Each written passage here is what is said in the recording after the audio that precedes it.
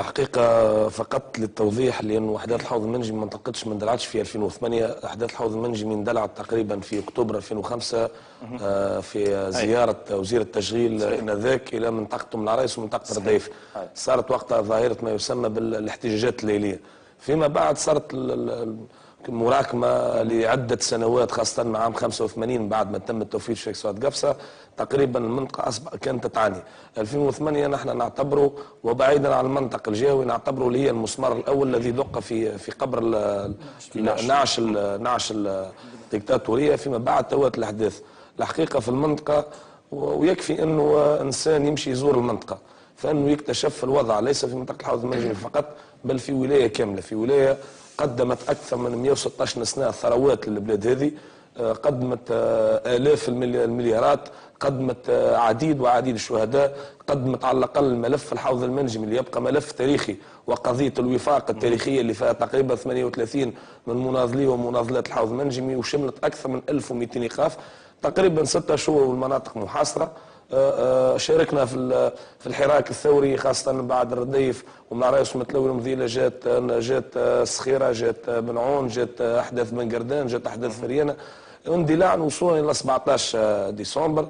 آه، الحقيقة نحن ما هوش تحامل ما مش مش نقول ما تحقق شيء ربما ثم مجموعة انتدابات شملت الجهة لكن الانتدابات هذه كانت ذرة ماد على اللاعب لأنه مشكلة المنطقة ما هيش متعلقة كان بقضيه تشغيل فقط ربما شنو هي مشاكل بالضبط؟ مشاكل أنه كتابة غادي مشكلة البنى التحتية، مشكلة الصحة، مشكلة التنمية، مشكلة المنطقة حدودية، مشكلة شباب يقطع في آلاف الكيلومترات في في البحار بحثا عن الهجرة السرية وبحثا عن العيش والحلم في في المدن الأوروبية، مشكلة الشباب اللي آه، اللي ذكروا سيدنا الشيخ بشبابه اليوم بالألاف آه، في في سوريا، مشكله الشباب نتاعنا المواد المخدرة ومواد الزطلة، مشكله الشباب نتاعنا اليوم الجريمة والجريمة المنظمة. هذا الوضع اليوم من وصل لنا. الحقيقة ما حبيش نعمل تعليق لأني نعتبر رئاسات ثلاثة لا يجمعهم بتونس إلا ربما شبكة الصرف الصحي وشبكة الماء والضوء. ما عندهم حتى علاقة بتونس واليوم أكثر حاجة تثبت شيء هذا ما نحبش ندخل أنا في في تفصيل أكثر. اليوم وقت اللي نشوفوا نحن عنوان فشل كما مهدي جمعة اللي هو وزير الصناعة اللي كان يباشر بشكل مباشر في المفاوضات مع خليل الزاوية في منطقة الحوض المنجمي وعلى راسها شركه سواد قفصة هو فشل بالضرورة لا يمكن أن يكون عنه حل. هذا فشل حتى في حلال ملفات ونزيدك نعطي معطى إعلامي للساده المشاهدين اللي الشركة التونسيه نقل المواد المنجميه عملت تضرب 37 يوم وعندها اليوم أربع أيام مضربه والشركة هذه ما تحلتش مشاكلها.